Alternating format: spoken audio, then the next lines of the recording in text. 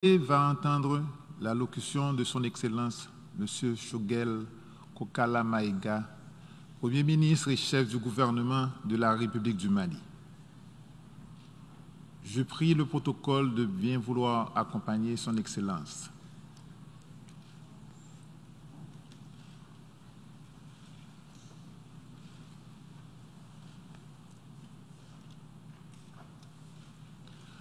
Au nom de l'Assemblée générale, j'ai l'honneur de souhaiter la bienvenue à l'Organisation des Nations Unies, à son Excellence M.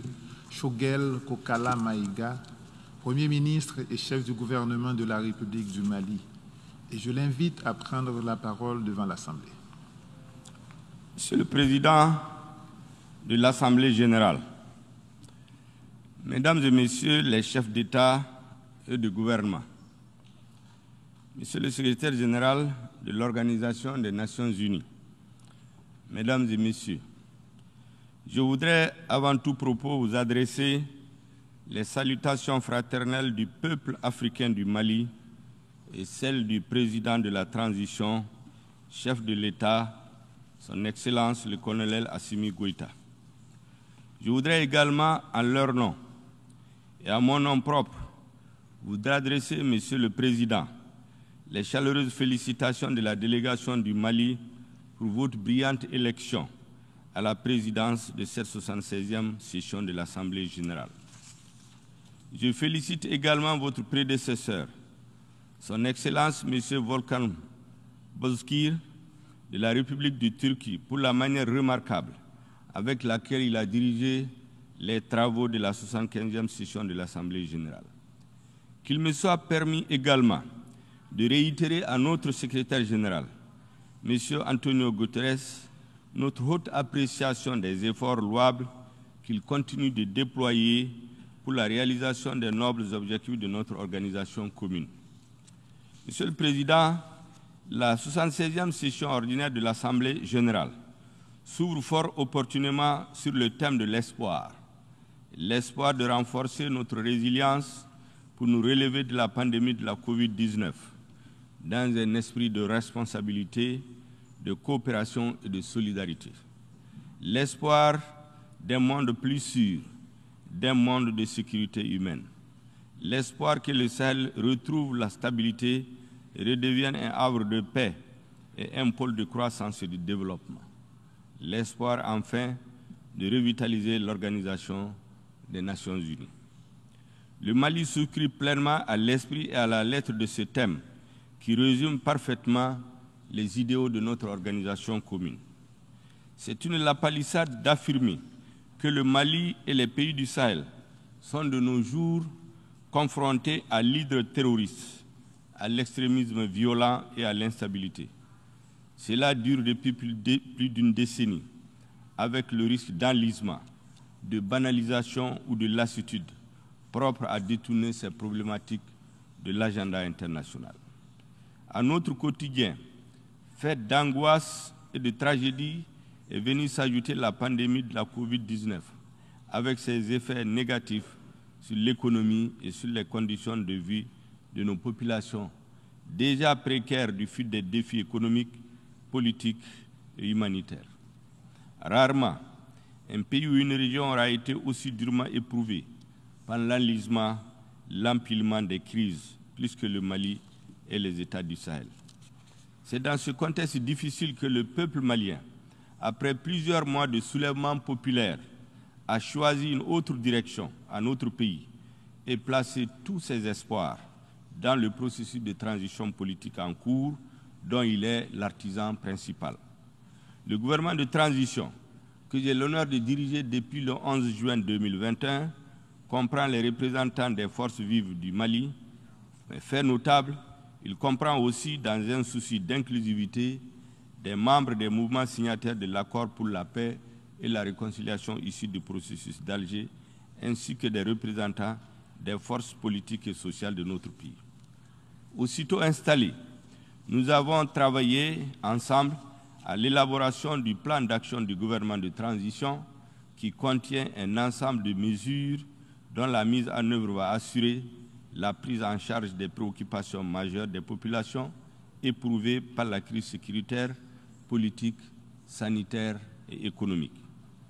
Ce plan d'action du gouvernement, adopté le 2 août 2021 par le Conseil national de transition, organe législatif transitoire, s'articule autour de quatre axes prioritaires. Il est assorti d'un chronogramme d'exécution et d'un budget prévisionnel. Le premier axe du plan d'action du gouvernement érige la sécurité au rang de priorité élevée. Il répond à l'aspiration profonde de notre peuple, à la paix, à la quiétude, au vivre ensemble, à la cohabitation pacifique, à la cohésion sociale.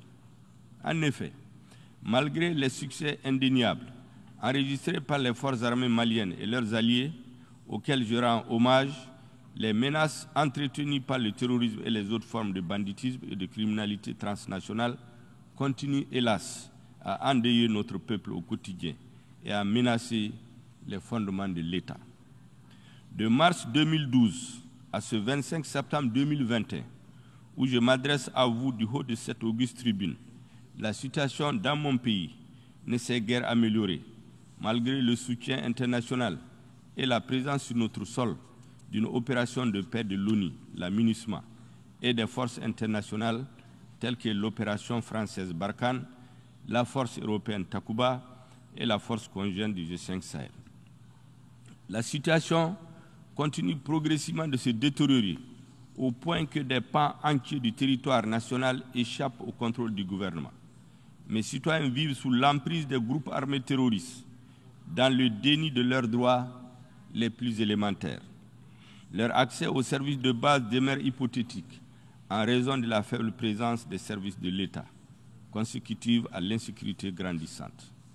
L'aménagement dont je salue ici le courage et la contribution à la stabilisation du Mali évolue dans cet environnement vulnérable avec ce que cela comporte comme menace sur elle. Face à cette situation préoccupante, le gouvernement est régulièrement et fortement interpellé par les populations maliennes de plus en plus exigeante vis-à-vis des pouvoirs publics et des partenaires internationaux. S'il est établi que l'un des droits fondamentaux des populations est le droit à la sécurité, la garantie de celle-ci, assurément, est l'élément de légitimation de l'État aux yeux des citoyens. Monsieur le Président, je fais ce rappel pour vous restituer l'exacte situation du calvaire qu'endurent les populations maliennes je le fais aussi pour nous convier tous ensemble à l'introspection afin de changer de paradigme en matière de sécurité au Sahel. Le Mali, comme vous le savez, accueille sur son territoire une opération de paix des Nations Unies et je voudrais à nouveau rendre hommage, un hommage appuyé à toutes ces femmes et à tous ces hommes qui travaillent sous la bannière de la MINUSMA dans des conditions difficiles, souvent périlleuses, pour préserver la paix et pour protéger les populations civiles. Je rappelle que notre organisation commune, l'ONU, a été bien avisée en 2013 lorsqu'elle a décidé de déployer fort opportunément la mission multidimensionnelle intégrée des Nations Unies pour la stabilisation du Mali, MINUSMA. La résolution 2100 du 25 avril 2013 établissant la avait considéré, je cite, que la situation au Mali constitue une menace pour la paix et la sécurité internationale et a décidé en conséquence d'agir en vertu du chapitre 7 de la Charte des Nations Unies. Dans son paragraphe 16, la résolution 2100 a fixé comme mandat initial à la entre autres, je cite, d'appuyer les autorités de transition maliennes pour stabiliser la situation dans les principales agglomérations, en particulier dans le nord du pays, et, dans ce contexte, écarter les menaces et prendre activement des dispositions afin d'empêcher le retour d'éléments armés dans ces zones. La résolution 2164 du 25 juin 2014, qui a renouvelé pour la première fois le mandat de la pour un an, a souligné, je cite, que le terrorisme ne peut être vaincu qu'à la faveur d'une démarche suivie et globale, fondée sur la participation et la collaboration active de l'ensemble des États et organismes régionaux et internationaux, visant à contrer, affaiblir et isoler la menace terroriste. Fin de citation.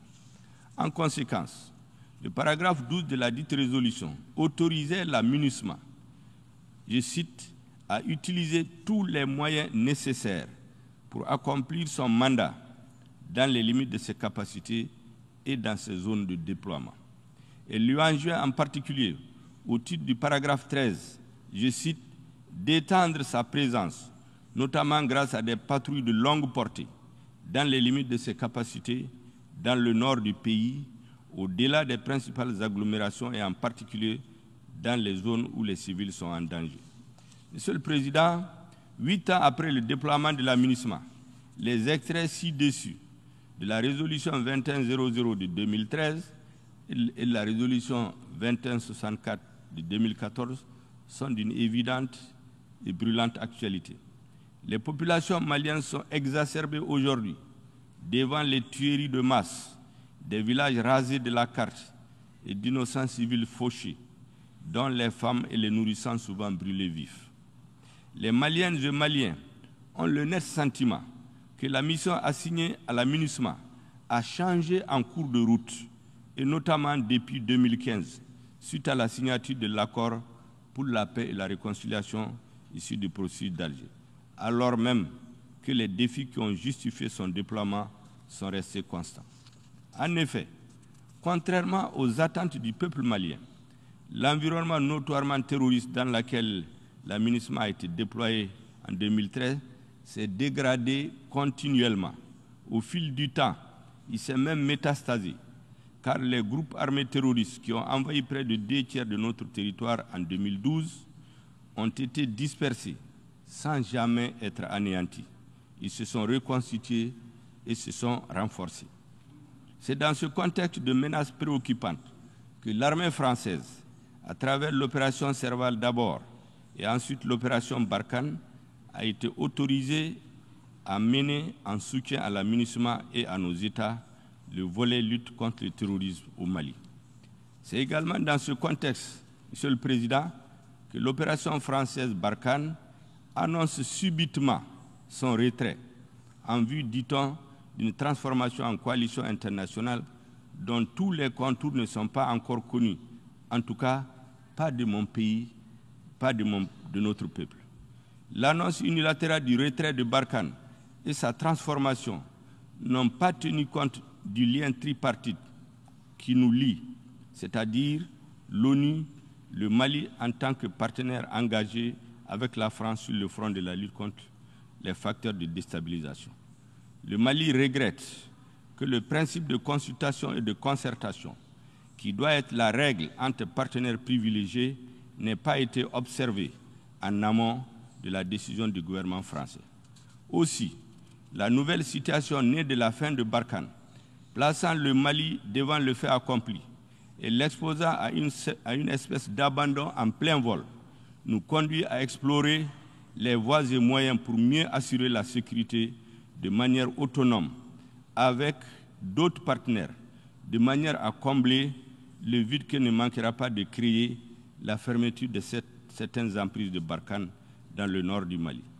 Cette situation doit également inciter les Nations Unies à avoir désormais une posture plus offensive sur le terrain. Monsieur le Président, il n'existe pas de sentiment anti-munissement au Mali, pas plus qu'il n'existe de sentiments anti-français dans notre pays. Non. Je le dis sans embâche. Notre peuple n'a jamais été un peuple ingrat. Au sommet de l'État et au sein des populations, il existe un désir de paix et une soif de sécurité qui font écho à l'exigence d'efficacité des instruments et des mécanismes politiques et militaires mis en place et qui font paradoxalement du Mali un pays surmilitarisé mais très vulnérable face au terrorisme, devenu un facteur de désintégration de nos États, de nos sociétés et de déstabilisation des fondements de nos pays. Que devrions-nous faire face à un tel paradoxe? Que faut-il faire pour répondre à l'angoisse, à l'exaspération et à la colère des populations maliennes? Que faut-il faire pour répondre au sentiment d'insatisfaction à la fois des Maliens et des partenaires du Mali?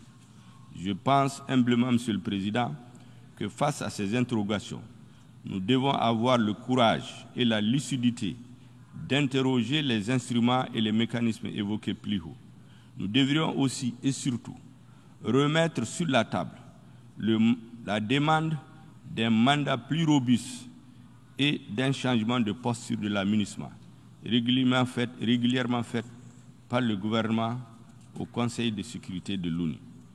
Ceci permettra d'adapter le mandat de l'aménagement, de lui donner les moyens de s'acquitter convenablement de son mandat et de répondre à l'aspiration du peuple malien, aspiration sans laquelle ni la mission de l'ONU ni les autres partenaires militaires internationaux et régionaux présents sur notre sol n'auront la crédibilité aux yeux de mes concitoyens.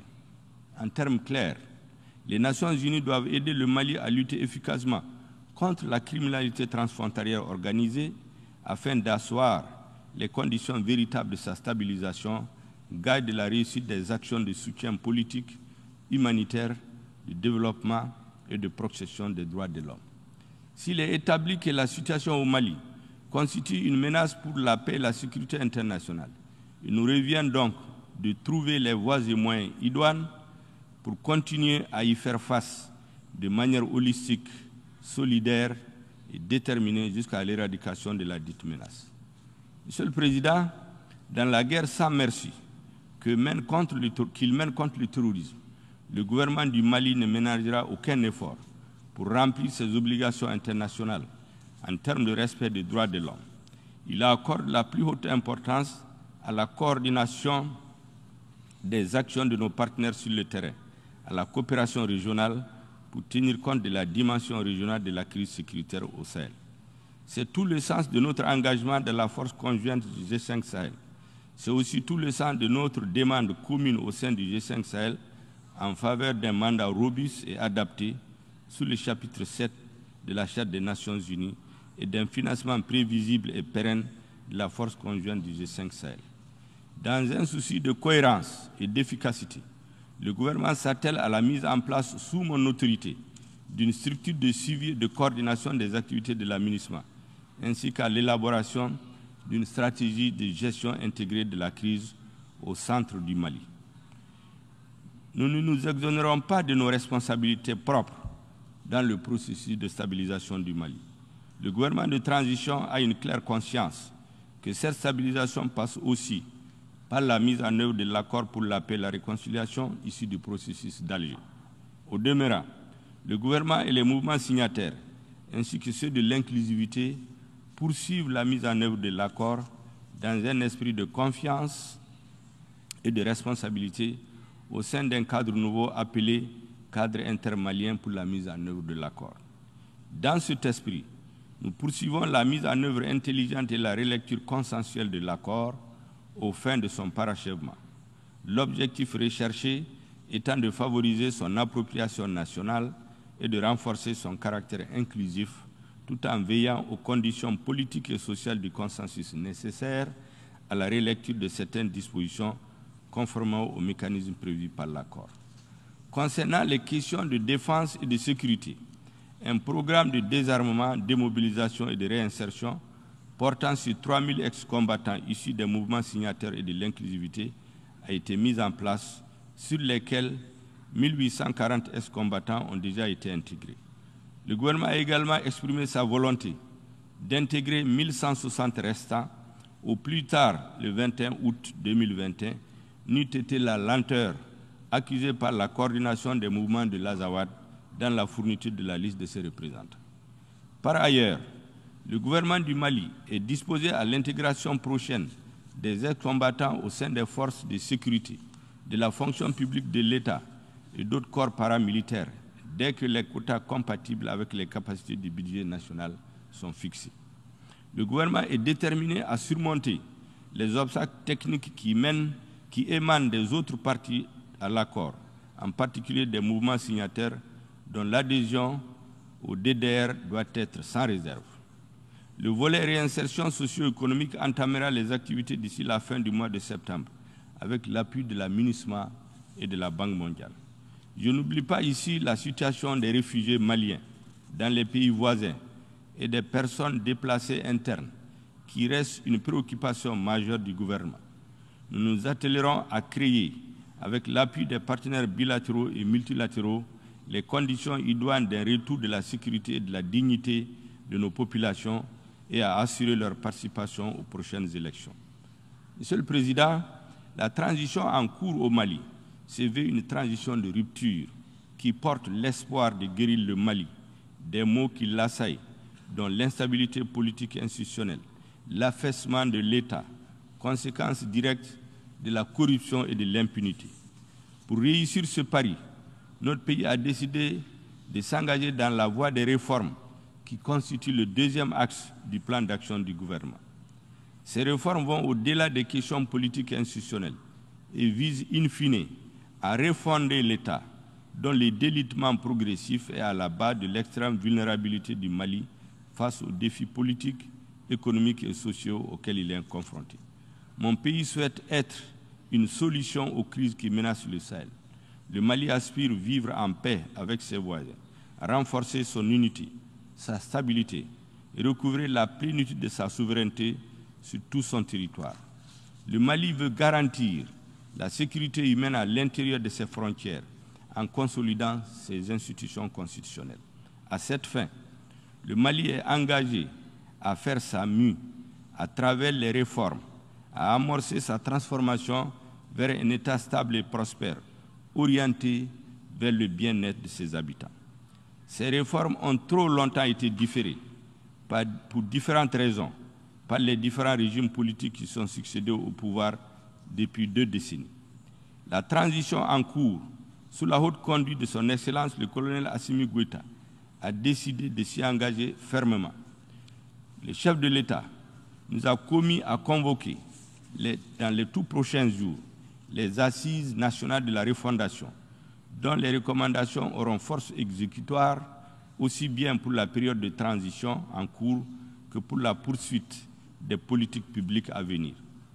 Le troisième axe prioritaire du gouvernement est consacré à l'organisation des élections générales transparentes, crédibles et inclusives devant marquer le retour à l'ordre constitutionnel au Mali. Ces élections sont, sont particulièrement importantes elles seront le baromètre de la réussite de la transition. Nous savons que leur qualité et leur crédibilité conditionneront l'avenir de notre démocratie, la légitimité et la solidité des institutions. Tirant les leçons de notre pratique démocratique récente, le gouvernement va instituer un organe unique indépendant de gestion des élections. Cet organe unique de gestion des élections posera les jalons politiques, juridiques et institutionnels de la restauration de la confiance des acteurs politiques et des citoyens lors des compétitions électorales. Il s'agit là d'une innovation majeure de nature à renforcer la démocratie et la légitimité des institutions. Nous avons conscience des délais impartis à la transition et de nos engagements internationaux. Nous travaillons sans relâche à les respecter. Dans cette optique, l'organe unique de gestion suivra un processus accéléré de mise en œuvre à travers la relecture de la loi électorale, l'installation d'un directoire national et des démembrements au niveau régional et local et dans les ambassades et consulats du Mali. À cet égard, la table ronde sur l'examen de l'avant-projet des termes de référence des assises nationales de la refondation est ouverte aujourd'hui, hier, à Bamako. Au-delà de la question de l'organe unique de gestion des élections, le gouvernement va s'atteler à réformer le système électoral à travers la relecture des textes fondamentaux régissant les élections. Enfin, Monsieur le Président, le quatrième axe de l'action gouvernementale consistera à instaurer la bonne gouvernance et l'adoption d'un pacte de stabilité. Sous ce chapitre, le gouvernement s'est engagé à assurer une gouvernance de rupture et d'exemplarité. Une lutte implacable est déjà engagée pour combattre la corruption et l'impunité qui sont à la base de la déliquescence de l'État. Les mesures en cours dans ce sens vont se poursuivre et s'intensifier. La gouvernance de rupture se traduit d'ores et déjà par une réduction drastique du train de vie de l'État afin de dégager des espaces budgétaires pour améliorer les conditions de vie des populations et assurer une répartition équitable des richesses nationales. Le président de la transition et le gouvernement ont déjà donné de bons exemples dans ce sens. Les ressources ainsi dégagées seront affectées vers les services sociaux de base. pour plus de justice et d'équité entre les travailleurs, le gouvernement, après avoir procédé à l'harmonisation des grilles salariales au sein de la fonction publique, va initier dans les meilleurs délais une conférence sociale en concertation avec les partenaires sociaux et les acteurs du monde du travail. Monsieur le Président, pays sahélien à vocation essentiellement agricole, d'élevage et de pêche, le Mali demeure fortement préoccupé par les changements climatiques, qui constituent l'un des défis majeurs pour la survie et le développement de l'humanité. En effet, mon pays subit de plein fouet les effets du changement climatique, caractérisés par l'avancée et la désertification et son impact sur la faune et la flore, l'achèvement de nos fleuves et de nos cours d'eau, l'augmentation du niveau de chaleur, les inondations, etc. etc. C'est pourquoi je voudrais réaffirmer l'attachement du Mali à la mise en œuvre de l'accord de Paris sur le climat. Monsieur le Président, je voudrais conclure en rappelant que l'action du gouvernement de transition au Mali est orientée sur trois piliers qui correspondent à trois besoins vitaux pour le Mali. Il s'agit du besoin de sécurité, du besoin de justice pour lutter contre la corruption et l'impunité et du besoin de réforme, j'allais dire de refondation. Il est impérieux de continuer à travailler, à améliorer l'environnement de sécurité au Mali avec l'aide des amis du Mali, en appui aux efforts des forces de défense et de sécurité. Il est tout aussi impérieux de mener les réformes nécessaires à la refondation de l'État et à l'adaptation des textes régissant les élections aux besoins de la société malienne et aux évolutions du temps. Il n'y a pas d'alternative aux réformes que nécessite l'état désastreux du Mali si nous voulons faire en sorte que ce grand pays reste debout et redevienne stable.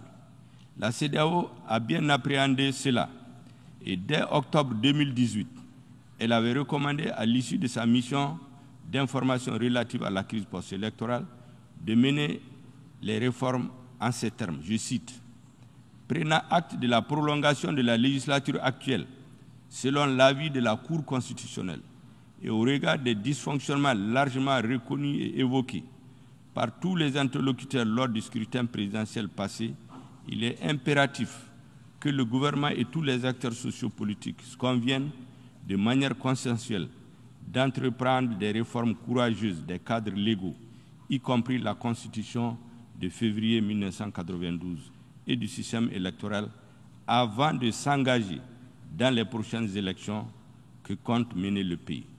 Je dois dire que cette importante recommandation de CEDAO n'a pas été suivie d'effet à ce jour. Le gouvernement de transition que j'ai l'honneur de diriger s'attelle à la mise en œuvre diligente de cette mesure.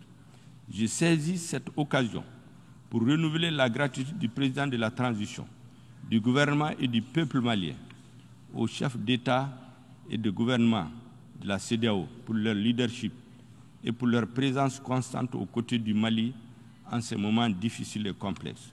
Nous les exhortons à continuer à avoir une lecture lucide de la situation qui prévaut au Mali. Un pays vaste, ouvert sur cette frontière et qui constitue une digue pour toute la région Je vous remercie de votre aimable attention.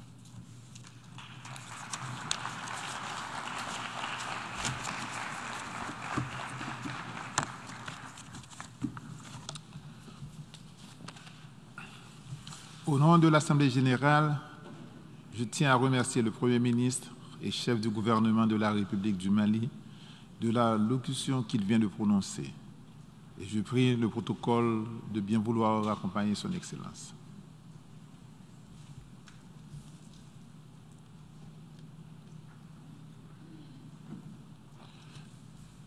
Je donne maintenant la parole à l'observateur de l'État, observateur du Saint-Siège, pour qu'il introduise l'allocution du chef du gouvernement.